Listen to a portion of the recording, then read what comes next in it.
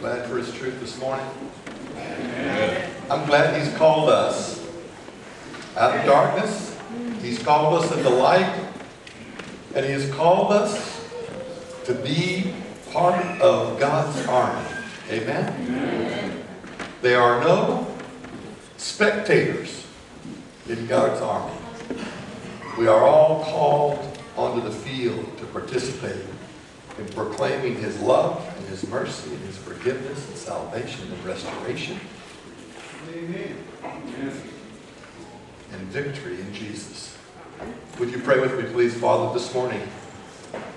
As we pause to give thought to those individuals who have served you and served their country, who have given their life to you and have allowed you to use them in a mighty way. Father, we love you. We thank you for Jesus. We pray this morning, Father, that, that we would be clay in his hands and that he would shape us and mold us and fashion us in his image. That when people see us, they will take notice that we have been with him because we are like him. Is our prayer in Christ's name. Amen. I want to talk to you this morning about, really about service and about veterans and, and about our country. Roll the next slide.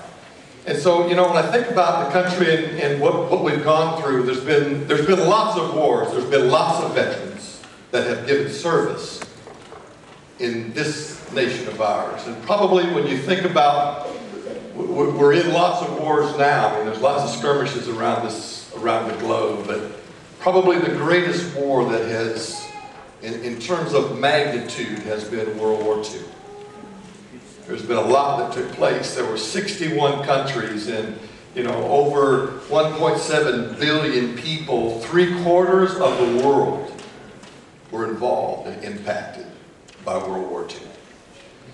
They say that there was over a trillion dollars spent. That was a lot of money back then. Doesn't sound like much now since we're 20 trillion in debt. But that was a lot of money back then.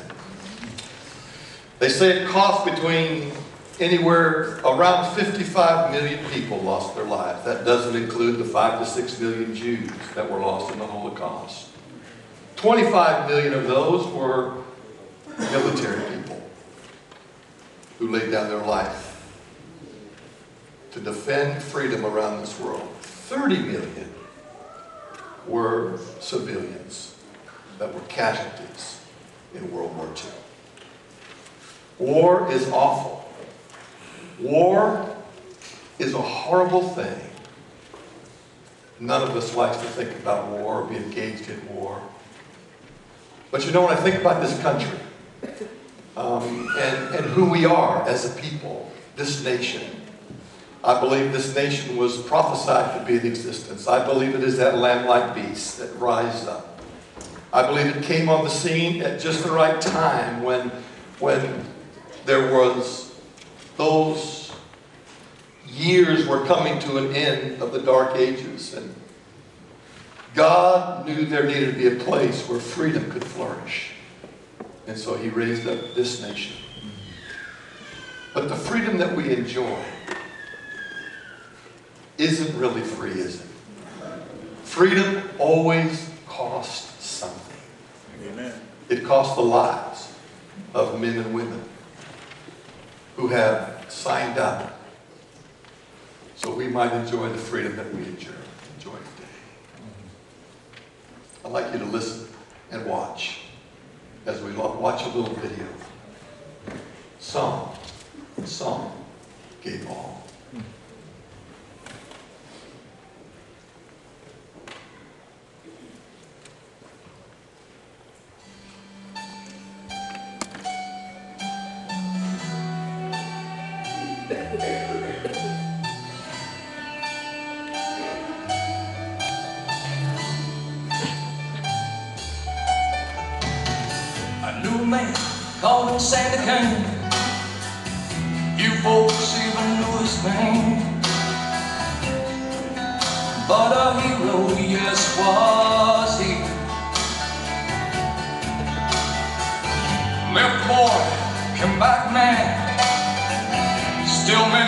Just don't understand about the reasons we are free. I can't forget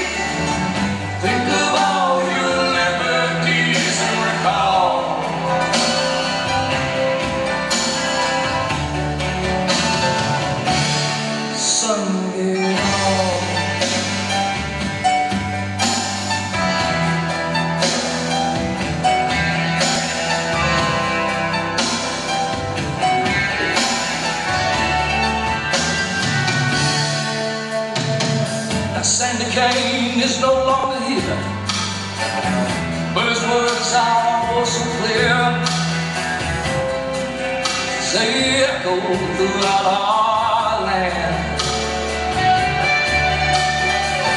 For all his friends gave us all, who stood the ground and took the fall to help their fellow man.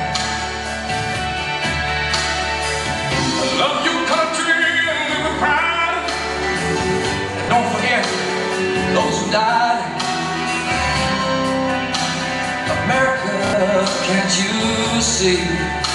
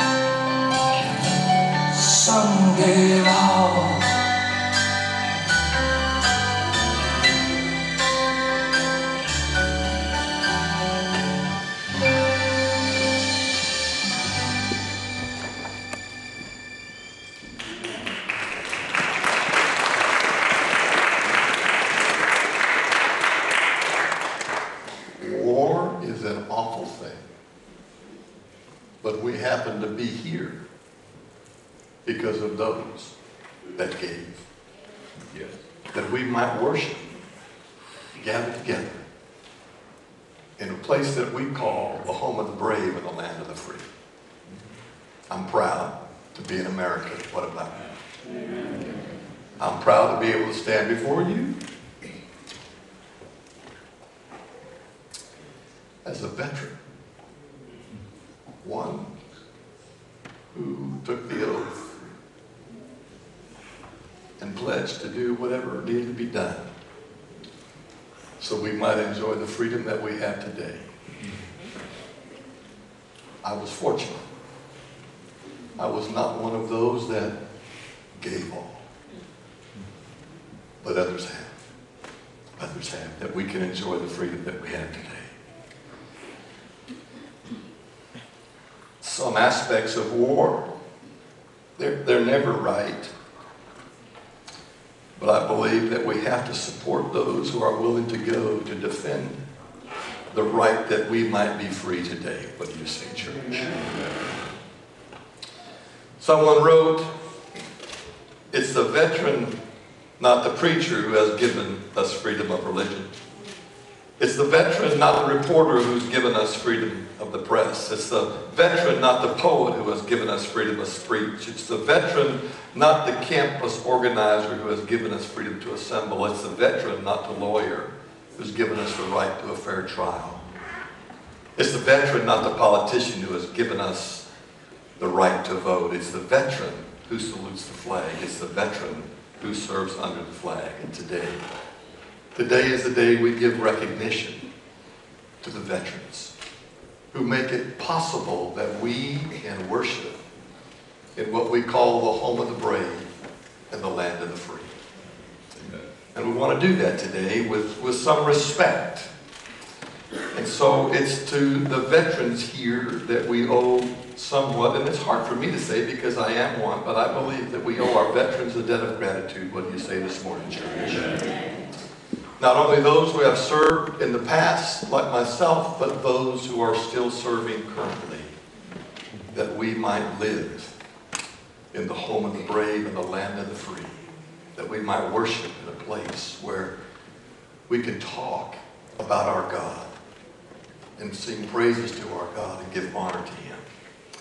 And so, to the veterans today, to you who are here, we owe you a bit of gratitude because you were willing to go and you were willing to serve. And you were willing to kind of put it all on the line. Some went into combat, some did not. But you never knew what was going to happen. I remember when I was drafted, I said, wow, I don't want to do that. You know? It was in the height of the Vietnam War, and I said, uh-uh, I'm not going over there. So I enlisted. Went to school for about a year, and lo and behold, two cycles before me, they had graduations every two weeks. And two cycles before me, the whole class in my MOS went to Vietnam. And I said, uh-oh, this doesn't look good. it doesn't look good. The class that was before me, half of them went to Vietnam. And the class that I graduated in, half of them went to Vietnam. I got the short straw or the long straw, however you want to look at that, but I was fortunate enough to go to Germany instead of Vietnam.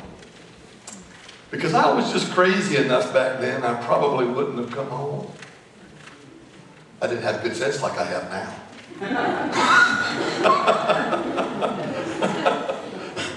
yeah, yeah. I was not the person that you wanted to get advice from, I tell you that. Yeah, because it wasn't good. But I think we owe our veterans and owe them a debt of gratitude today. Do you say, church? Amen. And so, on behalf of our nation, on behalf of our church, I want to say thank you to the veterans who are here in our midst today. And if you are a veteran, I'd like to invite you to come forward. Wiz, would you come forward? We have something special for you today that we'd like to present to you. Let's get him up here so folks can get a good look at him. Come on. Come on. If you're a veteran, come up here. We have something we want to we want to give in honor of your service and recognition for what you sacrifice as part of this country. Oh my. Amen. Oh my, let's give it.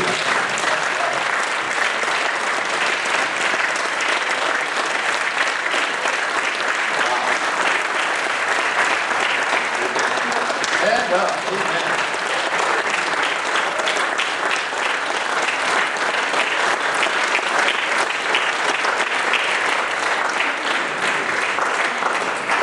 We're in trouble with. Oh, no, because they told me that 13 folk had signed up and said they were veterans, and so I got an extra seven, so we're gonna have to get some more. But we will get more. We will get some more. I, I have, we have a little pin we want to, we to give to you, and I'd like for, you know, I thought about this. I said, who should present these? And, you know, I was a, a, a lowly specialist four, and uh, before I, I took an early out because the army wasn't for me, but I served because I needed to serve our, our country. And so when I was in Germany, they, they were reducing the troops in Germany, so I applied for early release. And I had, I had already gone for my Spec 5 Sergeant Stripes, and they were in the line. And so when I, when I, when the early, when the early release came, I made my application for it, and, and, and Top said to me, that's my first sergeant, he said, Glen, he said, you don't want to go. You, you want to stay here. I said, Top, he said, your sergeant stripes are coming down. That's an E5. And I said, well, Top, I said, I think, I think I need to go back home. That's where I need to go. I need to go home. And he says, he says, he said, son, he said, I'll get you an E6 stripe. And I said, Tom, you could make me a captain. as, as long as I can be a captain in Ocala, Florida, I'm in. but I need to go home. I need to go home. And, so who, who should present these? And, and so I thought about that and I said, should, should a spec four present these? No. I think that a bird colonel should present these. What do you say? Amen. That's who we have in our midst. I need to give them many, many, many, many, many years. How many years, Liz? Too many. Forty years. You're not that old. That'd make a career. You did? yeah, we called you lifers. okay, all right. So I, wanted, I wanted, uh, I wanted Colonel Broom to be able to present these. So would you do that, please, Colonel? I want to of all of them first and tell you, thank you for your service.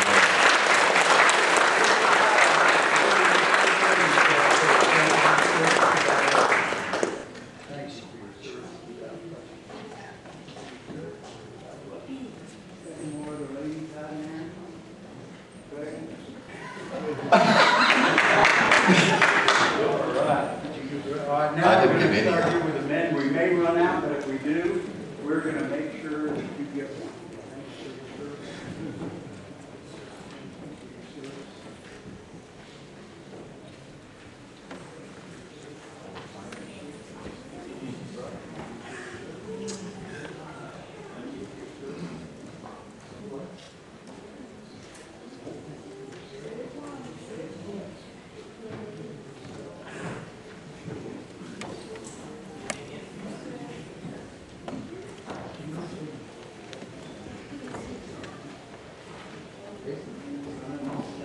Everyone Ranger here.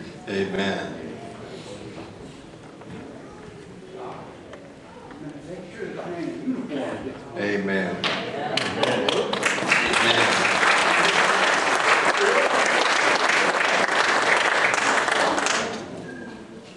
Thank you for your service, brother.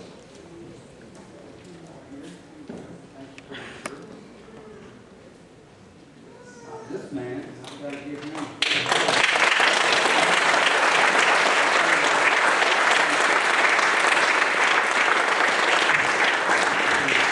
Here with your couple. Got one more? Yeah. Give that one to Derek. All right, we've got three, we need to get your name, okay? Yeah, let us know. Get your- Give us your names, please. We'll make sure, we'll make sure you get one. Thank you. Let's give them a round of thank you.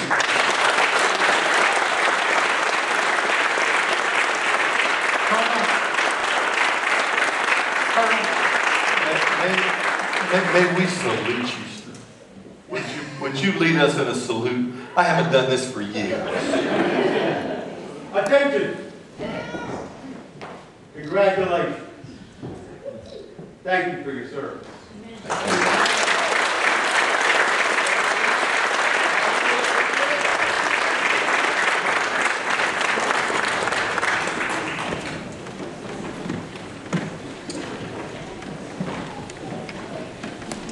We're the fortunate ones because all gave some, but some gave all.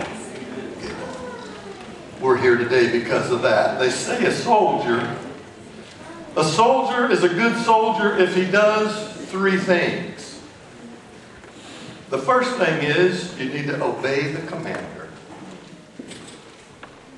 That's tantamount. When, when the commander gives an instruction, you don't pause. You don't say, I wonder if I need to do that, because that gets you in trouble. What you say is, yes, sir. And you begin to do what he asked you to do. Obey the commander. The second thing that a good soldier does is engage the enemy. You identify the enemy and you engage the enemy. Am I right, Wiz? And the third thing that a good soldier does, a soldier fights to the end. A soldier, good soldier, never gives up. We're here today in this country because there have been good soldiers who have gone on before us that carved a place out that allowed for freedom to ring, not just in this country, but freedom to ring around the world. You know, some people like to be important. Have you discovered that in your life? And, there are some important people out there, and then there's some people who just want to be important. They're just wannabes. And, and so there was this this colonel. I was gonna I was gonna make it up and say it's Wiz, but I, you know, I, I thought I thought better of that. so there was this colonel who he, he was a major, and, and he got promoted to colonel, and he got him a brand new office. And it wasn't furnished, and so they moved in the furniture, and there he was. He was behind his desk, and there was a knock on his door, and and, and he and, and he thought, well, I need to look, I need to look busy, and I need to look important. So so he picked up the phone and said, "Come on in." And so the private comes in, and he says, "Yes, sir. Yes, General. Yes, I'll convey that to the president when I see him next week. Thank you, sir. Oh, yes, sir. Goodbye, sir." Boom. And he says to the private, how can I help you, soldier? And the private says, I've come to hook up your phone.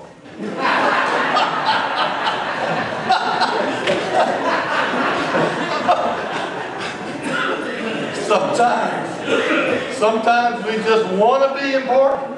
You know, it's just, we, we, we just try to fake it until we make it. Some people have authority and some people pretend to have authority. You know? Hmm.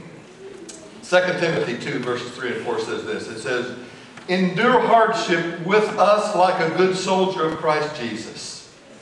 No one serving as a soldier gets involved in civilian affairs. He wants to please his commanding officer. Our ultimate, our ultimate goal. So I think we have to relate this to us in our spiritual life.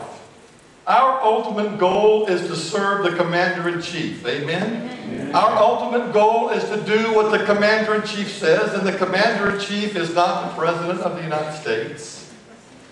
It's not the vice president. It's not the speaker of the house. It isn't the president of the conference. Our commander in chief is the Lord Jesus Christ himself. So we as people who have taken on, called out of darkness and called into light. We have taken on the, the desire to walk in light. Ephesians 1 verse 22 says, And God placed all things under his feet and appointed him to be head over everything in the church. Christ is our commander in chief, and we need to be doing what Christ asked us to do. Amen, church? Amen. There's a poem that goes like this. It says, One day I looked at myself, at the self that Christ can see, and I saw the person I am today and the one I ought to be. I saw how little I really pray and how little I really do. I saw the influence of my life and how little of it was true. I saw the bundle of faults and fears I ought to lay on the shelf. I had given a little bit to God, but I hadn't given myself. I came from seeing myself with my mind made up to be the sort of person that Christ can use with a heart he may always see. My prayer is that we would all be that kind of believer, that kind of a person who walks with Jesus So when people see us, they really can see what Christ does in a person's life. Luke 4 and verse, uh, Luke 6 and verse 46 puts it this way. It says, Why do you call me Lord and do not do the things that I say? So God has called us to walk, not just and do what he asks us to do, not just because he says so, but because he loves us. And because he wants to let the world know who he is. And so he's called people to rightly represent him in this world. Engage the enemy. Do we know who our enemy is? Ephesians 6 puts it like this For our struggle is not against flesh and blood, but against rulers, against authorities, against the powers of this dark world, and against the spiritual forces of evil in heavenly realms. 1 Peter 5 says, Be self controlled and alert. Your enemy, the devil, prowls around like a roaring lion, looking for someone to devour. devour. We are at war. Amen. We are at war. And sometimes we have identified the wrong enemy. Sometimes we are at war with one another.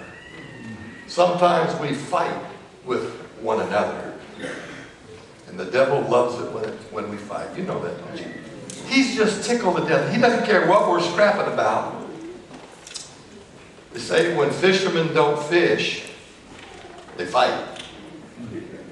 God has called us to be fishers of men. That's mankind. Fishers of men and fishers of women. And so, but when we don't fish, we fight. And so, I believe as a church that we need to focus down about what our purpose is in this world. That God has called us to pull men and women out of the sea onto his ark of safety. What do you say, church? Sometimes we fight with each other.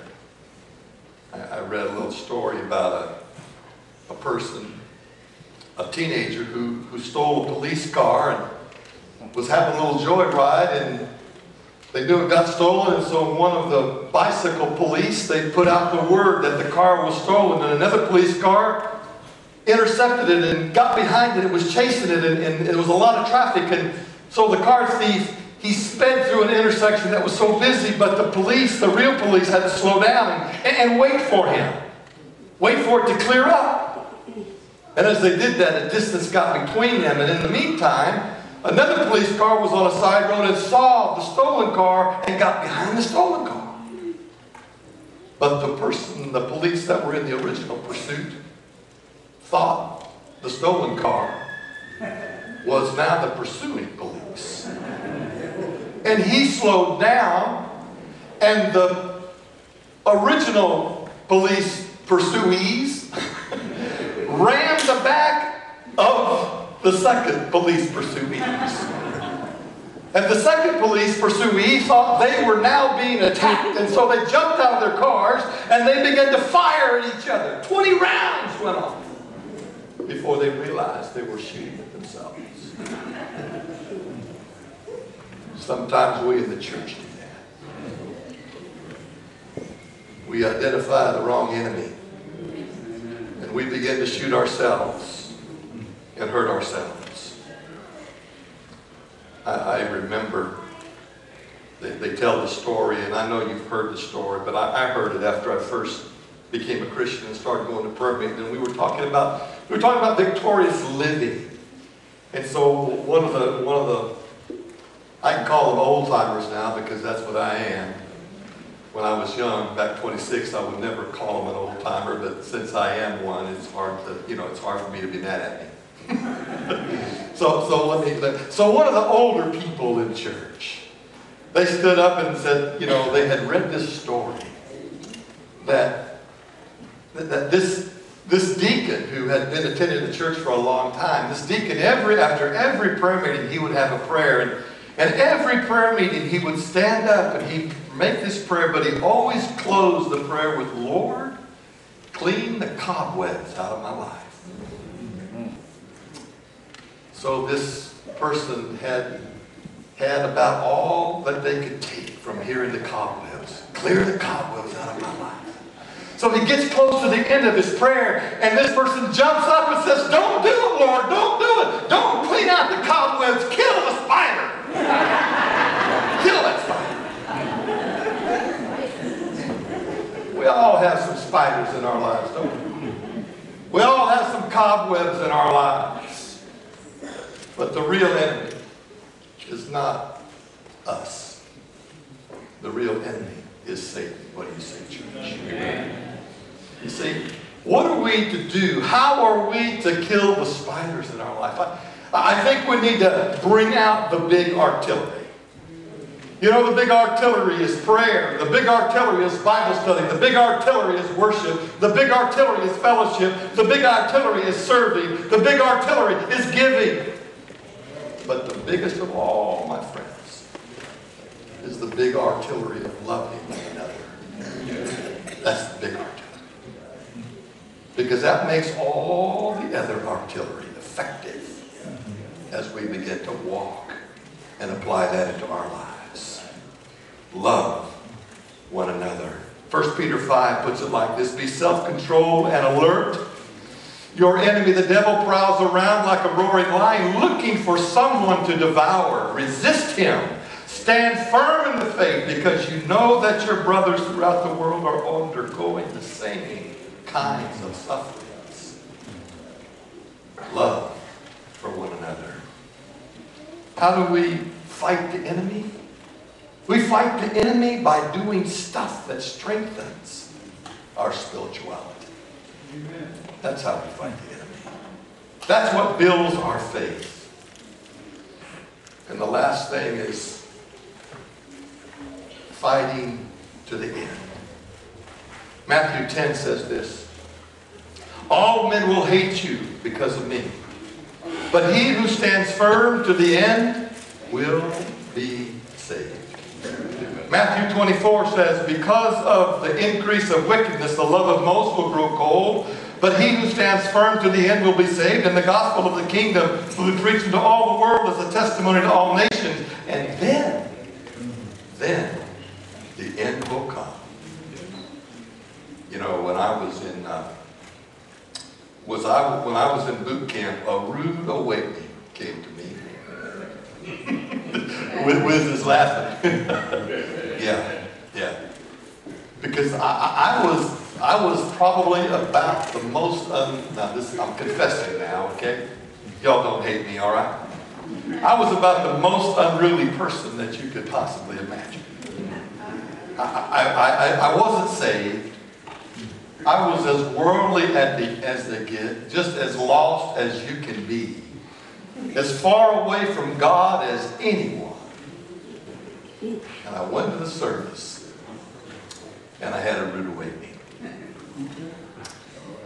You know, I spent my first anniversary, I was in Fort Jackson, South Carolina.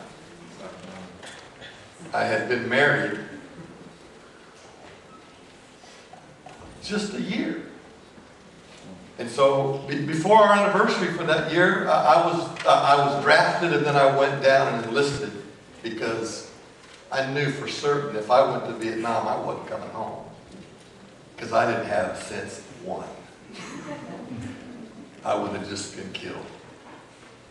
And so I was in there in Fort Jackson, and um, my wife's brother, he had been drafted, and he got he got sent to Vietnam. And so back then, if you spent six months in Nam, they used to give you a little R and they'd send you to Hawaii for two weeks. And so I was in basic training. My wife was home in Florida, and her brother got two weeks R and R in Hawaii. So you, you know where my wife goes with her sister? My wife, my wife goes to Hawaii, and I'm sitting in there in basic training in Fort Jackson, South Carolina. Mm-mm-mm. It wasn't good. It wasn't good at all. But you know, I look back and I'm thankful that I had the opportunity to serve our nation, serve our country. I learned something in South Carolina. I learned that the military was not a nine to five job. right, Liz? Yeah, it's not a nine to five job. It's a 24 7 job. And so the Christian life is not a nine to five job, nor is it a one day a week job. That we come and get our card stamped. Says, I got my time in this Sabbath. And then we walk and we forget about our faith the rest of the week. No, no. It's a 24 7, 7 job.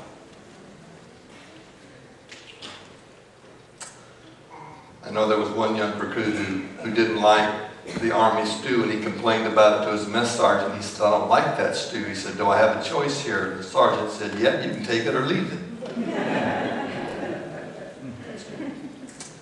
That's kind of the way the military is. You know, we're called to fight in a war, and we're called not to sit around and gripe in what we don't like about the church. We're called, we're called to keep pressing on. Keep pressing on. Go another round. Sometimes we forget who the battle is with. And instead of engaging the real enemy, we begin to engage one another. God hasn't called us to fight amongst ourselves, has He? He's called us to engage the enemy, Lucifer. And He's equipped us to engage him. And not only has He equipped us, He's destined us to be victorious. Amen. Amen. You know, there, there's some things in this life worth fighting for.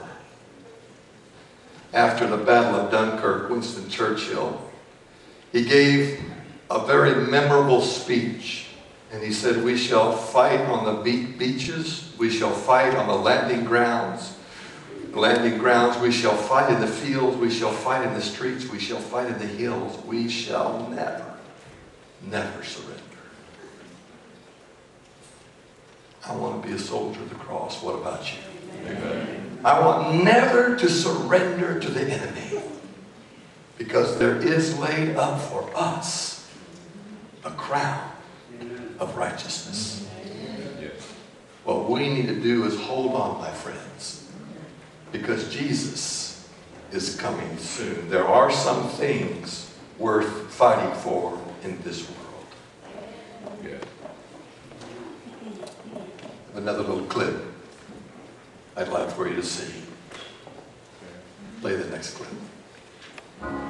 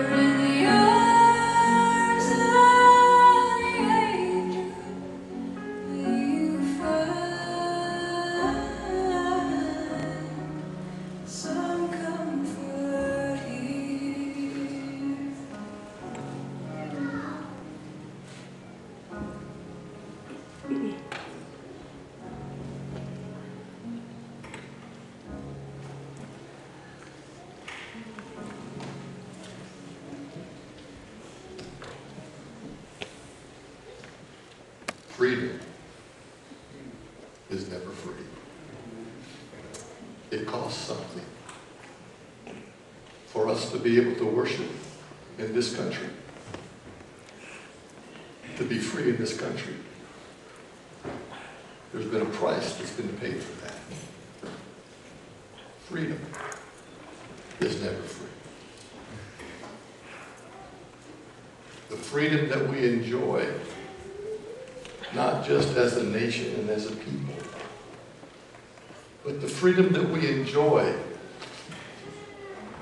spiritually was not free.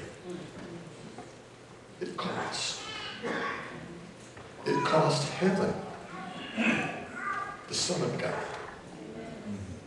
who died on the cross that we might live in eternity with him. Just like the men and women who have gone on and given their lives be able to sit here in this church free this morning and who are at this moment around this world putting their life on the line so we can worship and say we love our God. It's not free. I want to thank the men and women that we presented those little pins this morning to.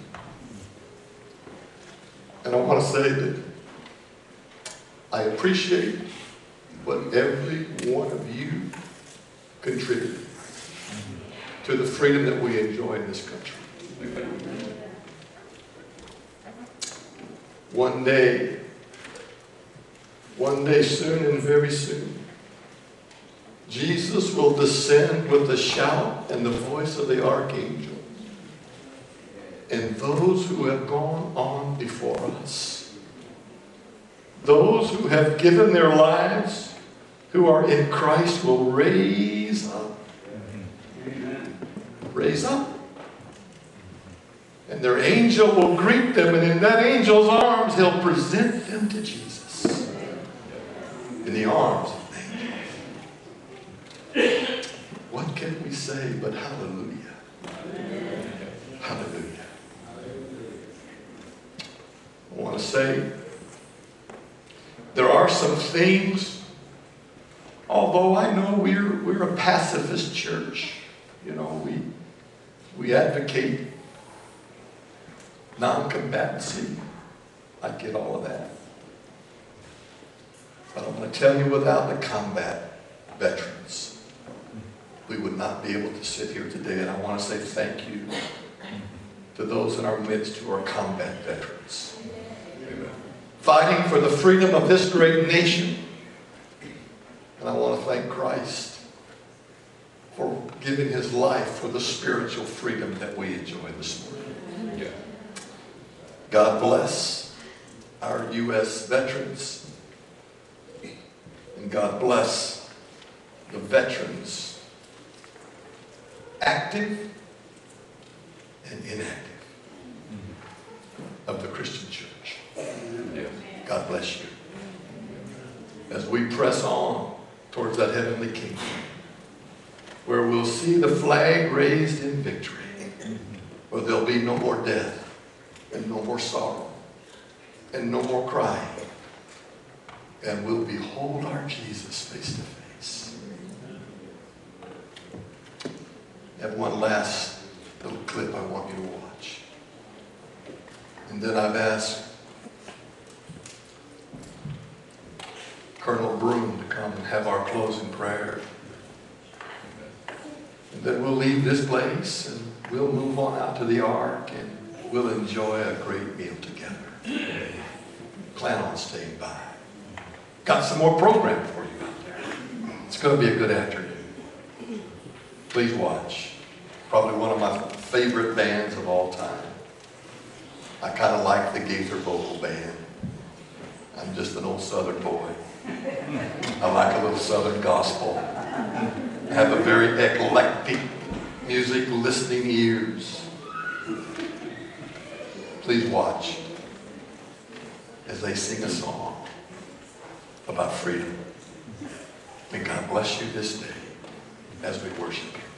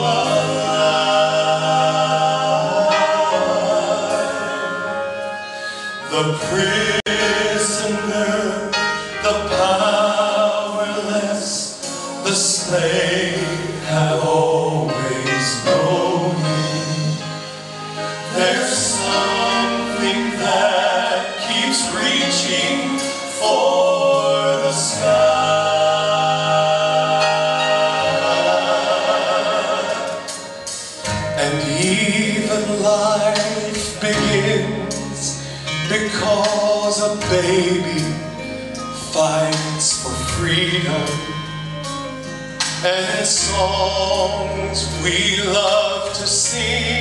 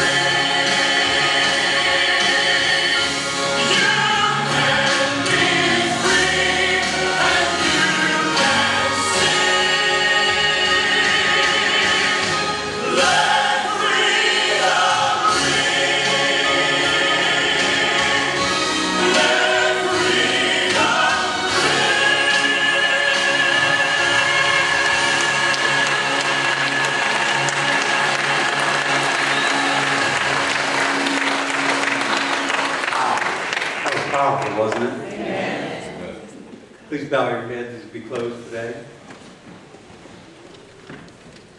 Heavenly Father, we thank you for the veterans that we honored here today. And the many veterans like them around the world. And the thousands that are serving on the front lines to keep us free. But Father, we must recognize the ultimate freedom that you have given us. The sacrifice of your only Son, Jesus Christ, whom you watched die the death for mankind on the cross. Father, we thank you for that freedom. And that freedom can be for anyone that is here today. All you have to do is ask, Jesus, forgive my sins and come into my heart. May that be your thought and prayer as you leave this place, this place today.